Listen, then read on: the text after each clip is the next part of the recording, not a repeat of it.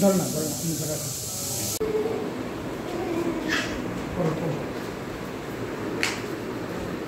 আসসালামু আলাইকুম। সবাইকে স্বাগতম জানাচ্ছি মি অ্যান্ড মাই টুইন ব্লগে। তো আজকে যেহেতু সবে বরাত, তো সবে বরাত আসলে আমাদের জন্য খুবই একটা আনন্দের দিন আমার কাছে মানে ছোটোবেলা থেকেই লাগে।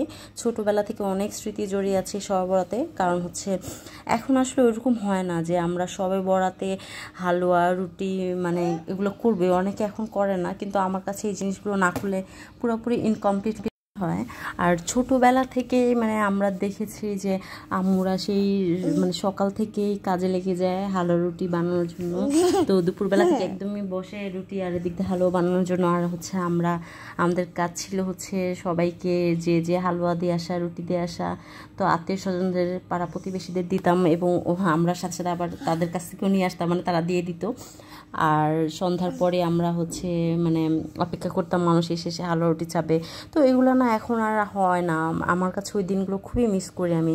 মানে খুব খারাপ লাগে যে মানে কি একটা যুগ চলে আসলো যে এখন সব কিছুই বন্ধ হয়ে যাচ্ছে ডে বাই ডে জানি এটা হচ্ছে কোনো নিয়ম না যে হালুয়া রুটি বানাতেই হবে, কিন্তু আসলে আমরা ছোটোবেলা থেকে দেখে আসছি তো এটার সাথে আমাদের অনেক ইমোশন জড়িয়ে আছে। তো যাই হোক, আজকে আমরা হচ্ছে হালুয়া রুটি বানাচ্ছি, গাজরের হালুয়া আর হচ্ছে বুটের হালুয়া এদিক দিয়ে হচ্ছে ছোটোবেলা থেকে আমরা যেহেতু তারাবাতি জ্বালাই তো এই তারাবাতিটা না জ্বালালে কেমন যেন ভালো লাগে না। তো বাচ্চাদের জন্য তারাবাতি এনে দিয়েছি। তো ওদেরকে আসলে আমি দিতে চাইনি কিন্তু ওরা আসলে আমি জ্বালাচ্ছে দেখে ওরা খুব জেদ করছিল জ্বালাবে। আর এই তো আমার হালুয়াটি হয়ে গেছে মানে হালুয়া হয়ে গেছে রুটি এখনও হয় নাই। তো হালুয়াগুলো কেটে কেটে নিচ্ছি।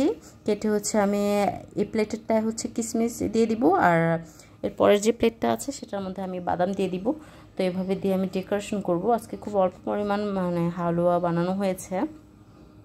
আসলে হালুয়া আমরা সবাই অনেক পছন্দ করি, বুটের হালুয়াটা, কিন্তু আসলে কেন যেন মানে সবের বড়া ছাড়া এই হালুয়াটা বানানোই হয় না।